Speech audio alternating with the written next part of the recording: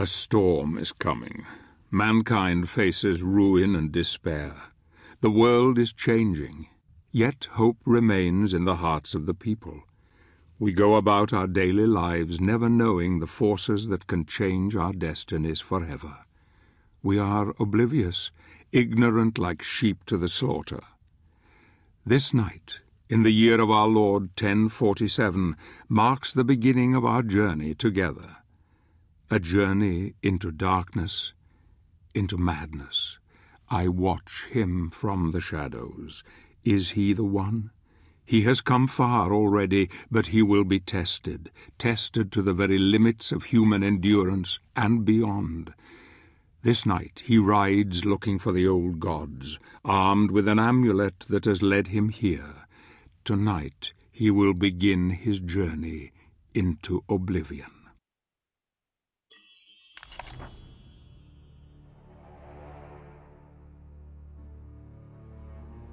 The struggle for supremacy is eternal, inevitable.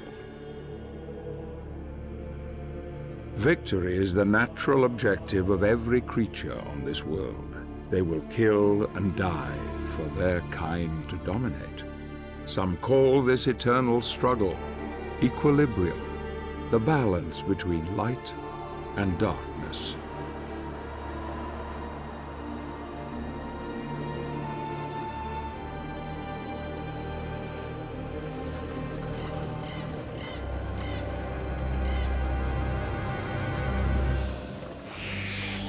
These are dark times, times without hope. Men of faith claim that this is a test from God to strengthen our spirit. Perhaps this is true, or perhaps it is simply a pious lie. If it is true, darkness has come to engulf once proud humanity, and we are witnessing the end